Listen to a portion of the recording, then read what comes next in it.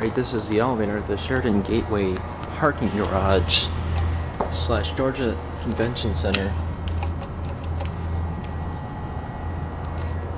I don't hear anything.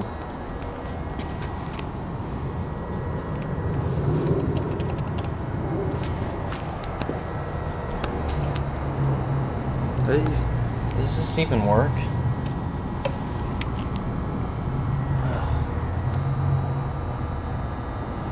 Guess they're both broken.